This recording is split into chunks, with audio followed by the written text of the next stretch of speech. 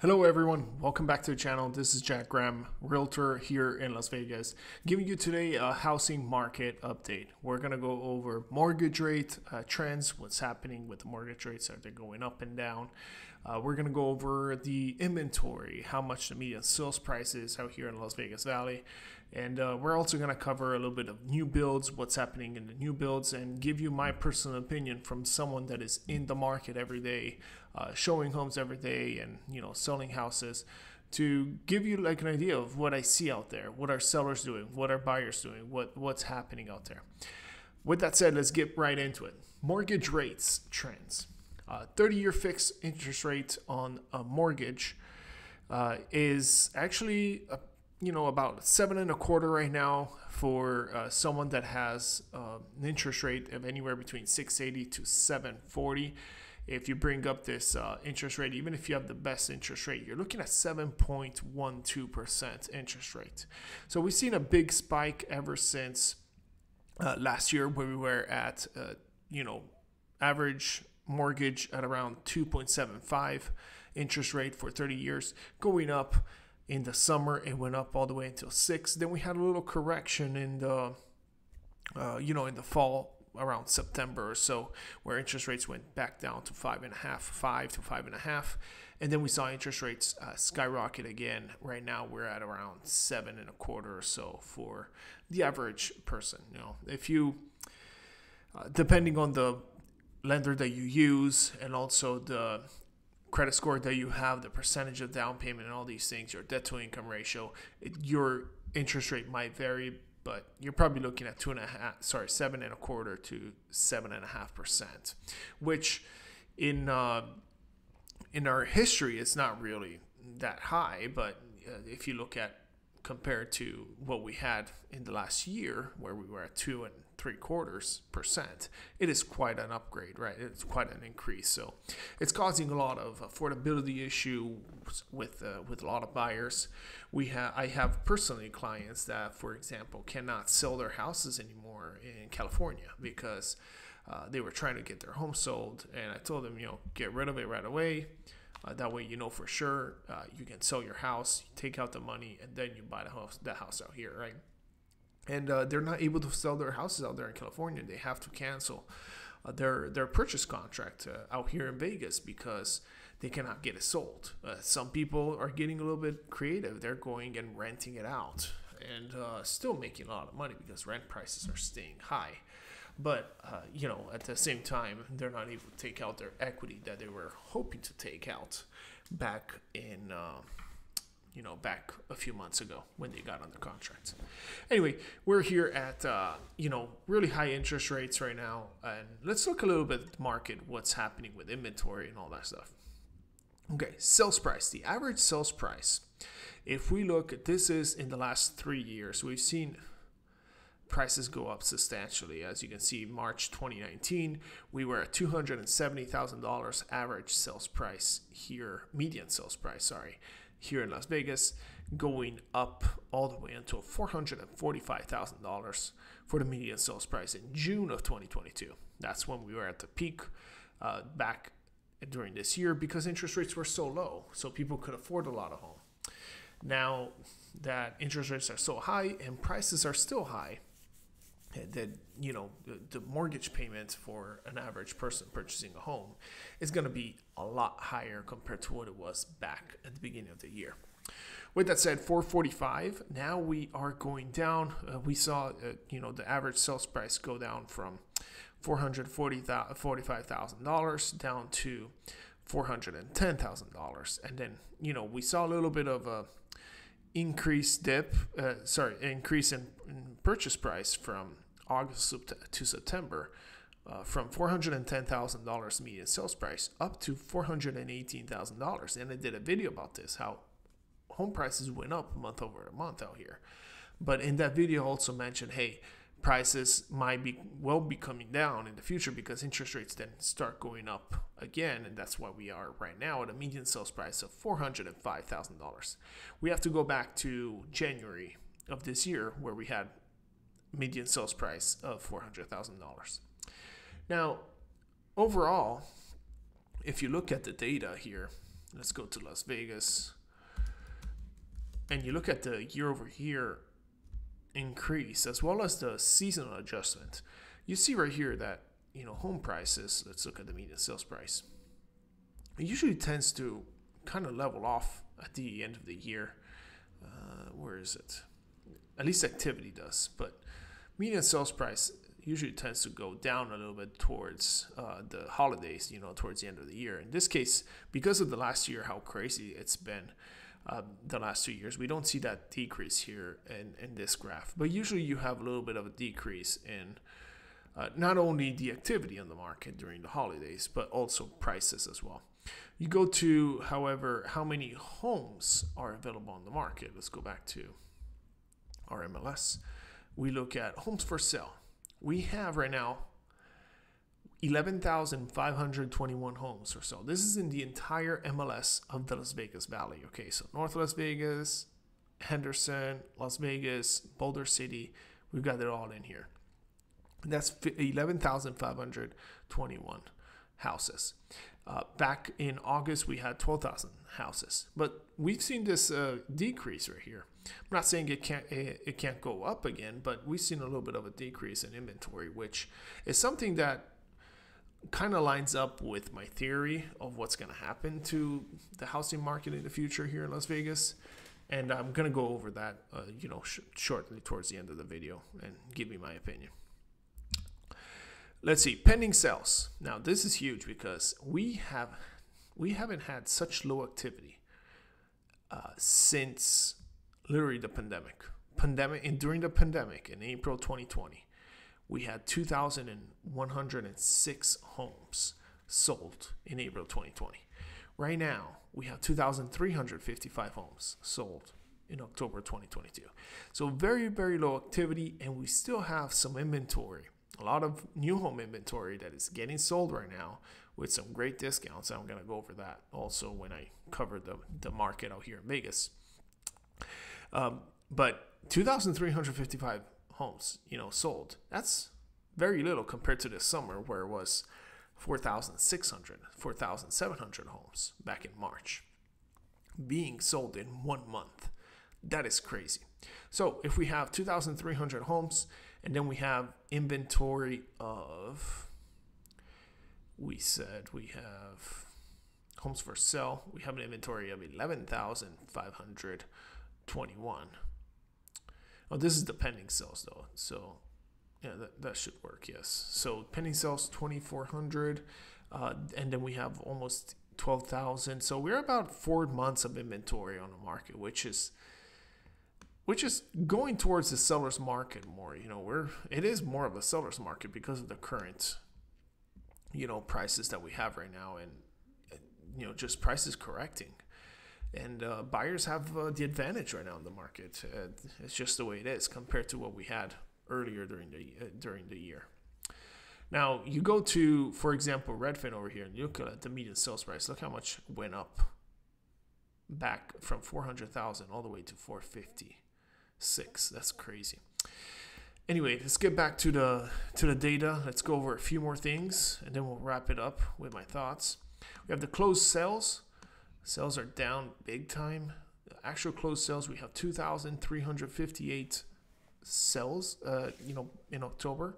I think a lot of realtors right now are hurting big time because they're not able to sell any homes, or probably half the homes that they were selling back then, if not even less than half uh, than what they were selling back in the summer. But we also have a lot more realtors that came out.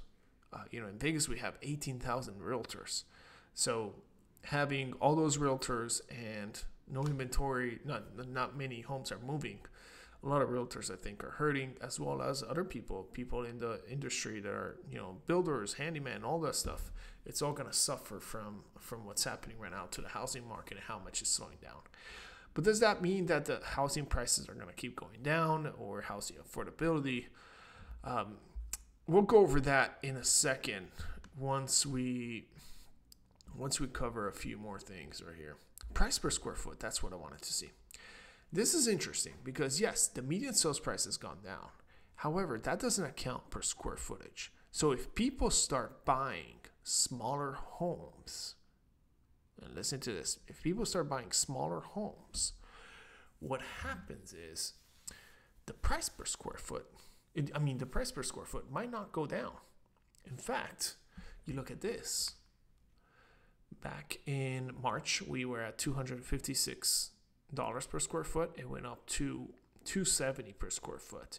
And now it's corrected to 252, but we've seen in October an increase to 253. So this is telling me something different. So median sales price compared to average uh, price per square footage is different.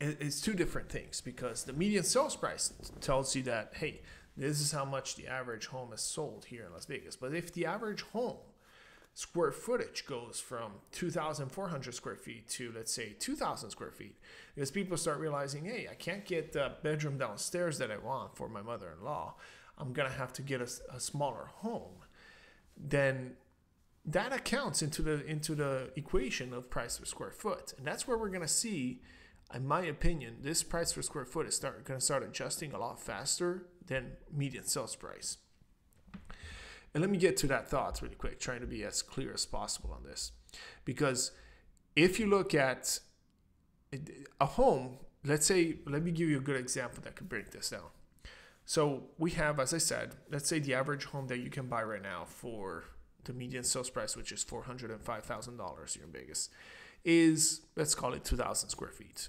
Okay, but now people instead of buying a two thousand square feet home need to adjust because interest rates are so high they can't afford to buy a home that high.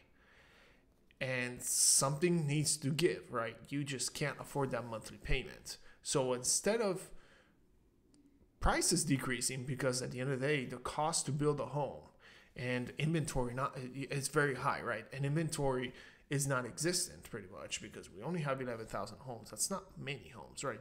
Even though it's it's quite a bit, but it's four months of inventory. And if it keeps if it goes down after this winter, uh, then we might see people that have to adjust their uh, their wants instead of getting that 2,000 square feet home. Now people need to squeeze into a 1,600 square feet home. And that price per square foot can stay high with interest rates being higher as well. That I think is what is going to give the most.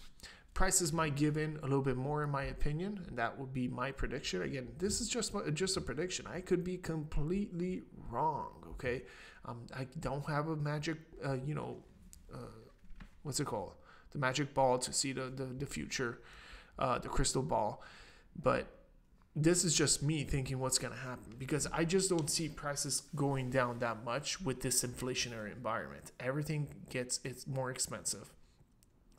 Uh, labor is more expensive. Homes, are, as a consequence, will be more expensive to purchase and also to build. Okay, so with that said, I think prices are going to stay pretty high per square foot, although we might see uh, average sales price, average median price going down, but average sales price stays steady, in my opinion. Uh, I hope you, that was clear. If not, let me know down in the comments uh, what you guys think about that. Now, let's go over inventory here in Las Vegas and what's happening with these builders. The, you know, how much inventory do they have? I'm going to try to compare all the builders and what I'm seeing out there.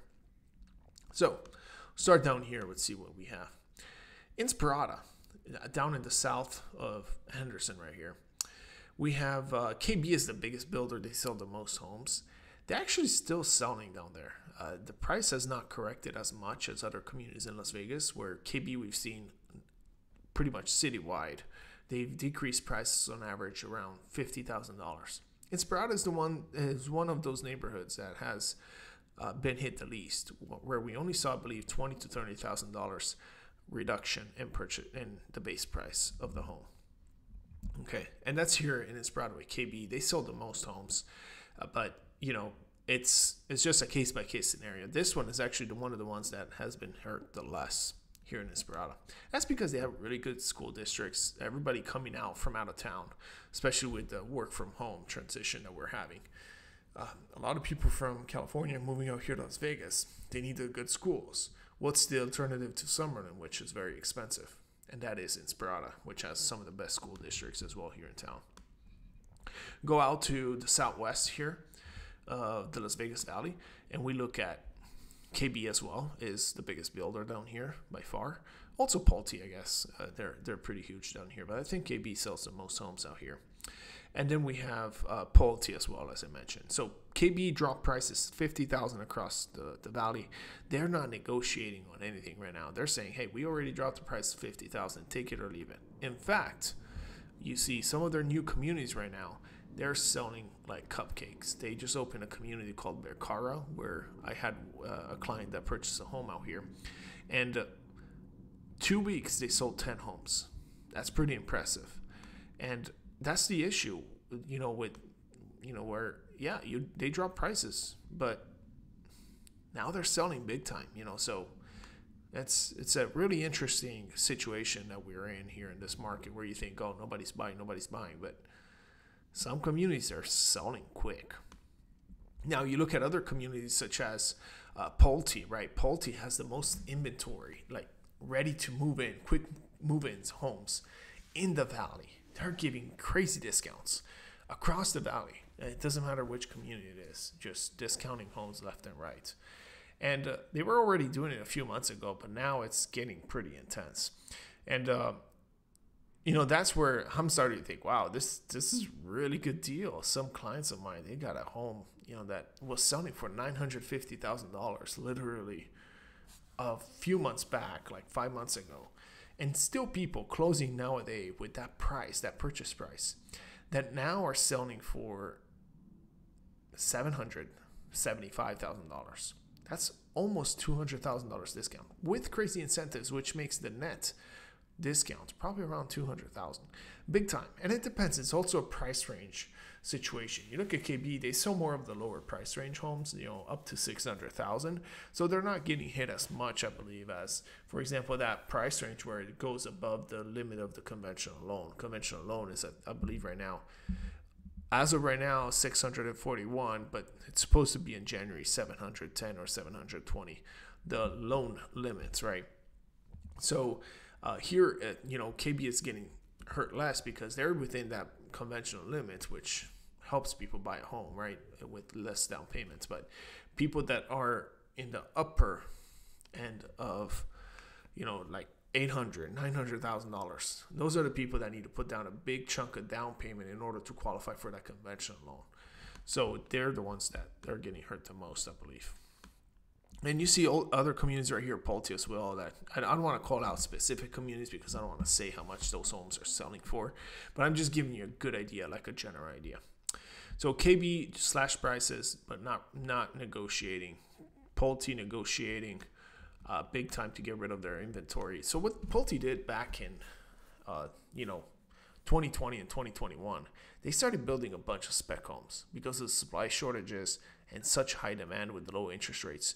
They said, look, let's build as many homes as we can, let's hire as many people as we can, and put them to work and say, build these homes, and then we'll just sell them all ready to go with all the specs included into the house. We'll sell them for top dollar. And that's what was happening. Now they have a bunch of inventory to unload. I think they have probably half of the inventory here in town between all the builders that they need to sell because they overbuilt. And they're the ones that are suffering the most right now. Now, here's the thing they look at it as a business transaction. So it, they're not emotional about their homes. They're just trying to get rid of their inventory. And once they do get rid of it, that's where things are going to turn around. That's where I'm. Um, I'm a little bit skeptical because people think that prices are going to keep going down, and that's where I think things are going to turn around a little bit. Taylor Morrison, this was overpriced before, still overpriced right now, I think, but still negotiating on these prices, lashing them about 10%. Overall, we're about down 10% here in the Las Vegas Valley uh, as far as the median sales price, though. Uh, D.R. Horton here still selling well in the Southwest. They do spec homes, so they're not they're not stuck with their base price and things like that. They can fluctuate and change pricing. They can adapt easily, so they're selling and they're selling well. But uh, I think Pulte is the one that's getting hit the most. We have Lennar getting hit really bad uh, because they do also spec homes a lot, but they're dropping prices depending on the location quite a bit. I've gotten a few deals that are just crazy, you know, way under market value um, with with Lennar. Um. Horton as well, good discounts as well. Uh, the ones that are not suffering as much as the ones that are oh uh, the ones that they that are dropping the base price. They're you you know like re- homes that you build from scratch where people kind of personalize and customize their home, which is the ones that are not getting suffered the most because they don't have inventory to liquidate. So they don't care if they don't sell their house for the price that they're asking for it. They'll just wait for the market to recover for them to sell the house. So that's what's happening. I've seen a few layoffs and a few builders. I don't want to call any, anyone out, but I've seen Toll Brothers lay off a few of their salespeople as well as Pulte and, and other ones because they don't know what to do with those people. There's no people coming in. They don't they don't have a need for it, and they had to do some layoffs, understandably so, you know. But uh, it's sad to see some of the people that I've been working with, you know, not getting not having a job anymore. But I'm sure they'll do great things in the future with someone else or somewhere else, you know. Uh, Summerlin has uh, has actually been doing pretty well. Uh, Summerlin is uh, one of those neighborhoods that does very well. Just like uh, Inspirada, you know, you have some of the best schools. People are still coming out here to Las Vegas. That's not going to change. Uh, and you know, people with money coming out here to Las Vegas sold their houses for millions of dollars, and relocating out here, or maybe having a tech job, work from home. You know, that's the place to go. You have the money to afford it. Why not? Just get a home that that you're comfortable with, and you know, get in the best school districts, and that's why it's suffering the least. You know, these two neighborhoods, Summerlin and Inspirada, just because of that reason specifically, I believe. And it's just this is just me speculating. I'm not saying that that's actually, you know, the the case, but well, that's what I'm seeing, you know. But I'm speculating that that's the reason why because of the school districts. Uh, Skye Canyon suffering, but not too much. Uh, you know, we have uh, builders like Century Communities. Uh, we have Toll Brothers up there. Uh, Toll Brothers is suffering. They were overpriced before. I was about to buy a home up there uh, because I love their floor plans and all. But they're suffering now because they're already overpriced and now the market corrected and, you know, not overpriced. It was it was a good price for the neighborhood and everything. But now that the market corrected, they're they haven't adjusted their prices and it's it's tough for them to get rid of the to sell homes. They're selling very slow, is what I'm saying. And uh, you know things are coming back to normal. Finally, we have a, a market that is more, uh, you know, calm, and we're going back where you know builders actually giving and you know the commissions that the realtors deserve. So pretty much all the builders are paying commissions. If they, some of them are still at two percent versus the average is around three percent. Some builders are desperate; they're giving four percent commissions to realtors. So you see a slowdown in the activity. Uh, you know, as far as how many homes are getting sold, about half of the homes, or even more than half, about 55% of uh, uh, you know slowdown ever since the peak of this summer. But if we compare that, however, to the 2019, because that's that's the important part, right? That, we know that COVID uh, freaked everybody out, everything got messed up, right? And 2020 2021 are not really the years that you can compare the market to. You would have to compare it to 2019 at least. So if we look at, for example, here the pending sales, which is the amount of homes that are under contract, right? And we compare this with 2019, we see, you know, early in the year we were way up right, compared to this blue line. Let me take out the, the other ones, 2020 and 2021, which were just insane. Now we see we do have a lot less activity, as you can see. Year over year, we're 60% down, right? But, you know, here, even, even here in 2019, you see the activity goes down during the holidays, you know, where sales price usually go down, goes down, activity goes down. But here we had all these people buy throughout these three years with 3% mortgage interest rates. Now, they don't need to move. Who wants to move? If you have to move and get a 7% interest rate. Well, of course, we're going to get this decline of how many people are buying a home. Now, this is not sales price. This is strictly amount of homes sold, which means less activity in the market, which slows down the economy, eh, the economy and all. And that was the the reason why uh, what the what the Federal Reserve is trying to do slow down the market, slow down everything so that they can slow down inflation. and that's their only way, their only tool that they have to slow down inflation. After they printed a bunch of money ever since the beginning of you know 2020 and now they're stuck with an inflation issue that they can't get rid of. But i'll talk about that onto my second channel uh, as soon as i get a video out and that's going to be probably tomorrow uh, onto the second channel. And uh, if you if you guys want to subscribe to the second channel and get those videos link is down below in the description. This video is strictly for housing market update for the las vegas valley Anyway, let me know what your guys' thoughts are down in the comments. What is the market doing in your opinion? Uh, based on this criteria, what do you think of my opinion? I think, if I have to summarize it, I think what's going to happen now, we have home prices declining because of all the existing inventory that we have. All these people that are trying to move and all the builders that built so many homes like Pulte, Lennar, D.R. Horton, and trying to get rid of the, all this inventory right now before the year ends because they're publicly traded companies. We have all this inventory that is getting sold at a discount right now. And my my theory right here, and I might be wrong, but this is my theory, is throughout the end of the year, beginning of 2023, possibly, but possibly even just by, by the end of the year, we're gonna see this inventory getting sucked up and all all these buyers that are still in the market trying to buy that couldn't buy before because it was just nuts, right? Saying, "Hey, there's so many good discounts right now. Let's get a home." Getting all this, oh, getting rid of all this inventory, you know, and now builders are going to be left without anything to sell, especially if interest rates turn around and they go back to three percent and buyers start coming out of their shell, saying, "Oh, shoot, I got to get into it right away." But even if they don't, once we don't have any inventory, my take is there's still going to be low activity as far as how many homes sell, but those homes that sell, they need to sell for a good price. And that's where I think people are going to adjust to this um, 7% interest rate, maybe 8, 9, 10, I don't know what it's going to be. And then home prices per square foot is going to stay up as well as the average sales price of a house because people what they, what they will do is they will have to live in smaller homes. If you have a single family home, you're going to have to downgrade to the townhome. If you have a townhome, you're going to have to downgrade to a condo. If you have a luxury home, 1.5 million, or maybe you need to buy a 1 million dollar home, but uh, you know, that's what I think is going to happen in the future. Anyway, let me know what your guys' thoughts are down in the comments. If you guys need a realtor to represent you out here in Las Vegas and, and do your best interest to negotiate uh, this crazy market that we're in, always ready to earn your business and uh, get you to the best deal possible for you.